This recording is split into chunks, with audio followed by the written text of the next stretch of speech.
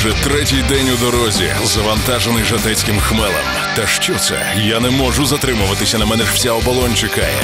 Справжній піл зварять тільки з жатецького хмелю, і зростає він лише в Богемії під Прагою. Три тисячі кілометрів.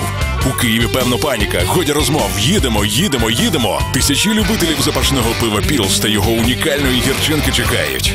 Нарешті оболонь. Пілс буде зварено. Легендарний Пілс. Єдиний справжній.